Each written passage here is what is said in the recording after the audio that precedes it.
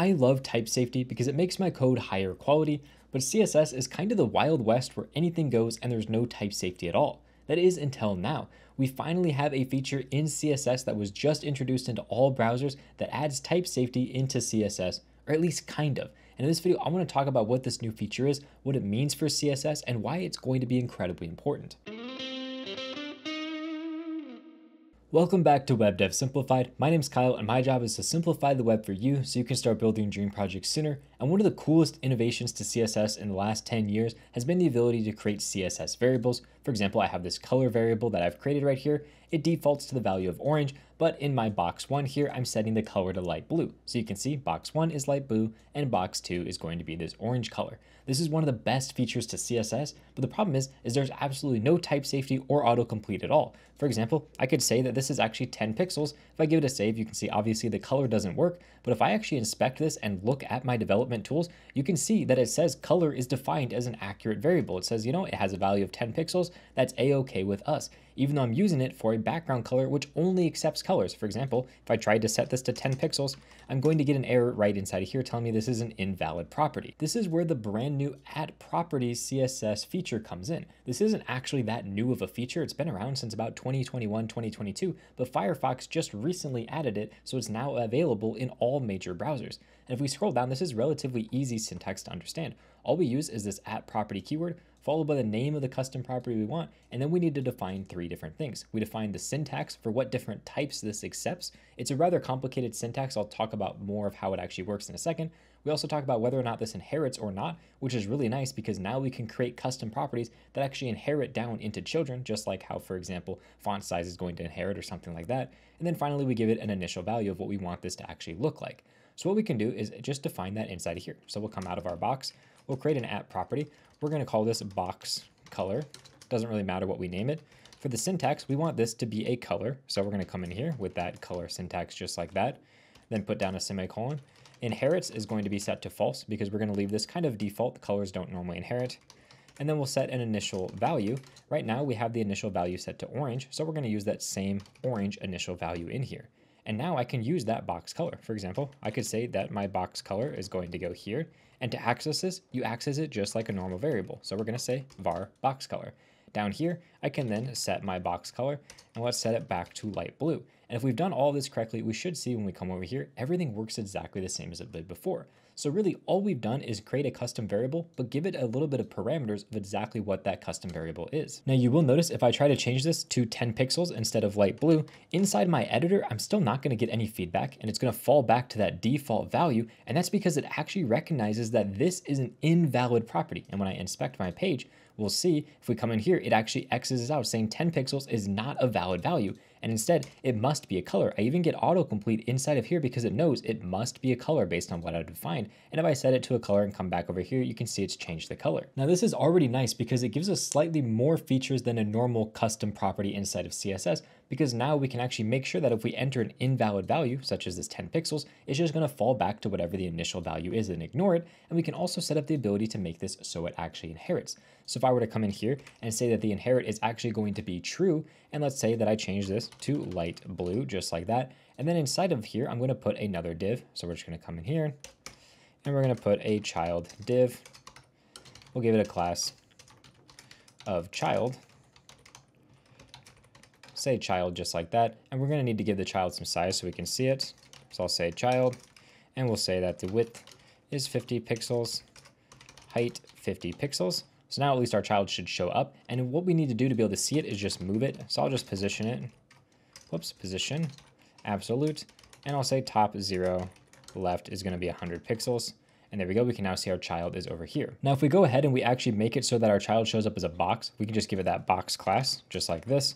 So now essentially my thing has a background color being set based on this box color, and it should be inheriting down. So if I were to change my child and put it inside of box one, we'll see that it'll change to light blue because it's inheriting this color from box one. So I'm gonna go ahead, I'm gonna take this, I'm going to put it inside of my box number one. And now you can see that my child has become a blue color because it's inheriting this box color from its parent. This is something you could not do with normal custom properties, but something that we can do using this inherits. And we can also turn this off by just saying false. And now you can see it defaults back to that orange color because it's no longer inheriting. Now, another thing we can do with this is we can actually define these in JavaScript if we want. We can just say window.css.register property, give it a name, syntax inherits an initial value, the exact same syntax that we did up here, and that'll create a CSS custom property for us directly inside of JavaScript. So we can do it both in CSS or in JavaScript, which is really nice because depending on what language, framework, or tools you're using, you may want to do this in JavaScript or in CSS.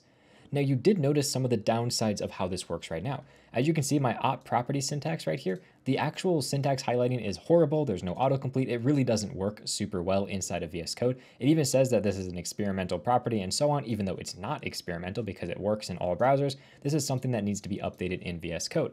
Also, I get no autocomplete here. You can see no autocomplete. If I type in a wrong value, it doesn't give me any errors. Again, this is something that needs to be fixed inside of VS Code. And there's actually an open issue on the VS Code GitHub repository for this exact issue. It's been around for almost two years now, since 2022. So it's something that should be fixed. And I now think that since the property support is inside of all browsers, this is hopefully something that you're going to look into and actually try to prioritize over some of the other issues because I really see this being something amazing for CSS. Now, the final thing I want to talk about with this property is how we actually define these different syntaxes because it's a really confusing syntax to actually determine what type something can be. So for example, if we go to look at background color and we scroll down, you'll find this section called formal definition. It's on every single page for every single property in MDN, and it'll tell us the initial value, which is the same thing that we define here. It tells me whether it's not inherited, again, same thing I define right here. And then finally, if we scroll down a little further, it gives me the formal syntax. That's what goes in this syntax section.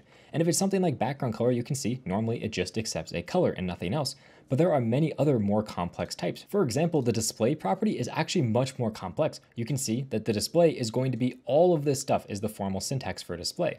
And you can see it has lots of different separators and it even has more definitions down here for what each individual piece is going to be. But if we look at any of this and you're confused by how it works, you can highlight over any of these blue things and it'll actually give you a pop-up that tells you exactly what it is, or you can click on it and it'll give you an exact definition of exactly how it works. So essentially the way that this works at a high level is if you have something inside of brackets, it works just like parentheses inside of like an equation. So it's saying that these two things are grouped together inside of one and they act as one cohesive unit. If you have an OR symbol with just a single bar, so a single pipe on this right-hand side over here, I will give it a quick highlight, this, that is essentially an OR operation. It's saying it's either going to be this or it's going to be this. And since we have a bunch of them, it's also either going to be this or this or this or this. It's going to be one of any of these different properties right here. Now, if you have this double pipe symbol, this OR syntax, that essentially means it's going to be one or more of these in this particular order. So it's either going to be just display outside or it's going to be display outside and display inside combined together into one particular thing. A great example of this is the CSS flex property. For example, I could set a flex of one or I could come in here and say flex 1, 0, and 0%, for example. I can define both of those, and it's essentially using the double pipe or symbol to denote that it could be one, or it could be multiple, or it could be some combination of the in-between. Now, the final type of symbol that you may see is going to be the double ampersand, and that works just like an and symbol. And then finally, a question mark just means that this thing is optional. You do need to add it, or you don't need to add it. It's entirely up to whether or not you want to add it. Now, the nice thing though is that you don't need to understand the in and outs of exactly how all of this syntax work because obviously you can read the documentation if you're confused on how a particular thing works, but generally when you're defining custom properties, it's probably going to be something like this, where it's a color, or maybe it's a length unit, for example, if you want to do like 10 pixels. It's going to be relatively simple, or maybe you may have the option to do one thing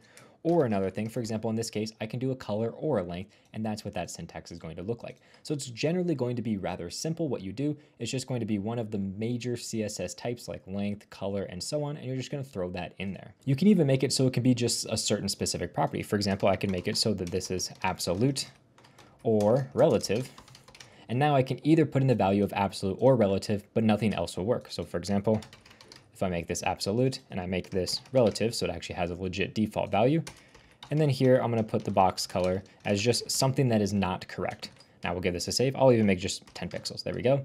Now, if I inspect my page, we should see if I actually look at my box one, that it's going to be correct. So I click on box one, you can see box color is correct. Now, if I go ahead and open this up and look at my child, you'll see it gives me an error again saying that this is an invalid property type because it must be either absolute or relative. Also, at the beginning of the video, I mentioned how I did get autocomplete inside of here for the different colors and so on. If I actually check, you can see it's giving me autocomplete on colors still. I think it might just be because this says color in the name of it. Let's try to change this to box just T. It doesn't really matter what it is. We'll just change all of these to box T, and we'll see if we get the exact same autocomplete. So if I come into here, you can see it's still trying to autocomplete the colors and pretty much every valid CSS syntax. So I don't really know exactly why it's doing that, but we're not getting the autocomplete we would expect inside of here. That's again something that's hopefully going to be added into the browser as we start to see more popularity of this at property syntax now that it's actually available in all different browsers.